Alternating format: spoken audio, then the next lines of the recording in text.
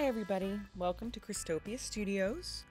I'm Kristen, and Kristopia is my utopia, the place I go in my head to be happy. It's my little happy place. Um, today, I'm going to attempt once again to do a couple of flip and drags. If you've seen my previous video, you'll know my first attempt at this kind of acrylic pour was a failure in that I didn't succeed in making a dragon shape, but I was able to save the painting and create a birch forest in the mountains, so it was a happy accident. The first attempt I'm making today is going to be on a smaller cardboard canvas. I had a few and they're cheaper than wrap canvases, and since my abject failure of the time before, I figured I'd use one of these up to attempt again.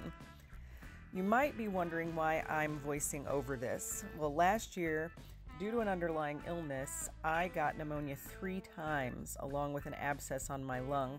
I'm healthy now, very healthy. I'm back in my singing voice, but I'm taking no chances. So when I'm using chemicals like Floetrol or thinners or silicone, I tend to wear a respirator. Um, and when I do wear a respirator, unfortunately, that makes me sound very muffled and kind of a, like Darth Vader when I breathe in. Um, I didn't want to subject you to that. So anyway, I put the cardboard on a lunch tray so that it would make less mess on my bottom surface. And I put white down as a base so the paint will flow better. For this one, I plan to use mostly blues, but there's a little bit of gold and a little bit of orangey red in there as well. Um, I am using one drop of OGX coconut hair serum in my paint colors. Uh, only a tiny little drop is all you need, and OGX is a safer serum for me. Plus, it smells better and it does work well on your hair.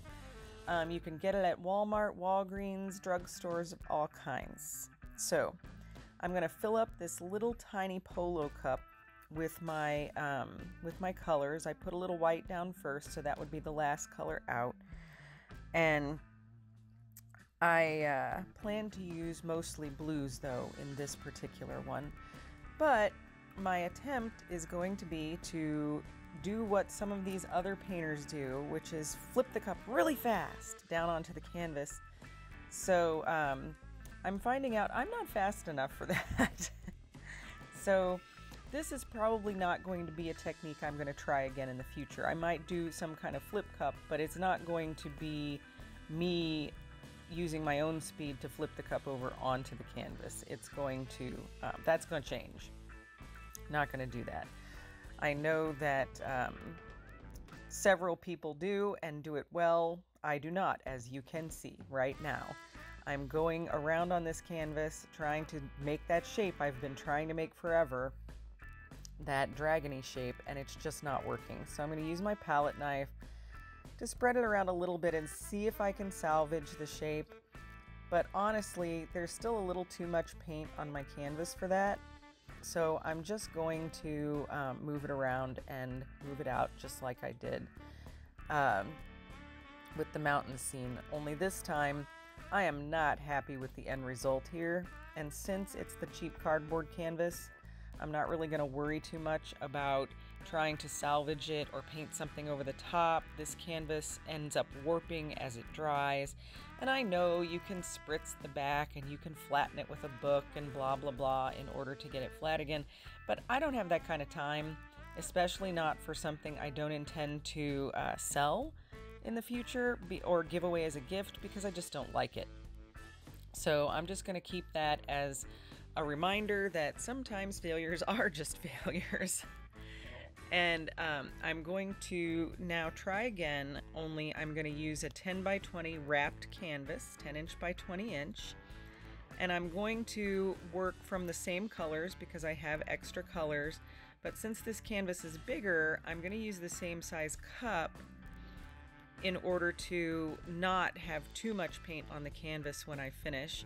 I am still going to try to do a flip and drag, but this time I'm going to put the cup on, uh, or I'm going to turn the canvas over onto the cup and then flip them back over, kind of like if I were turning out an upside down cake. You know, you just flip it over and then um, try again. So that's what I'm going to do this time. I'm still layering the same colors. Um, not sure I chose why I chose that color schematic, but it seems to work okay.